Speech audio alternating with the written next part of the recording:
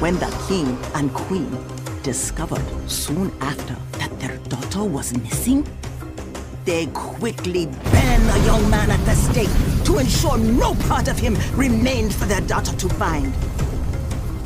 They were sure she would then give up her wild passion and return to the safety of her room.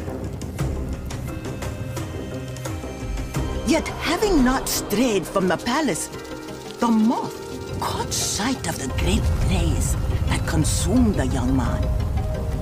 Unable to resist his cursed ways, the moth plunged into the flames while the blind princess followed. The kiss of the moth hung over the kingdom that day and all the days that followed. And no amount of tears could extinguish its flame.